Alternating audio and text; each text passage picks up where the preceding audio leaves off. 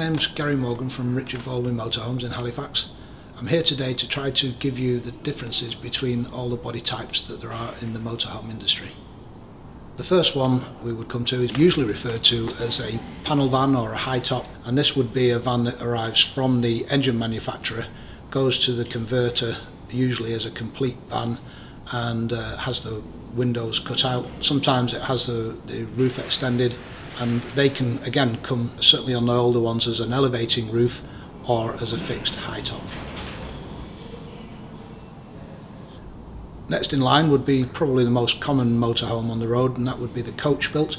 They would usually come as a chassis cab from the engine manufacturer and then the converter would build onto the back and over the cab. There's two different styles. There's the low profile and that would be a coach built that comes without an overcab bed or you could have the overcab bed which would be a coach built uh, that has like a bubble over the driver and passenger seat that can either be an overcab bed or cupboards. And next we have the A-class vehicle.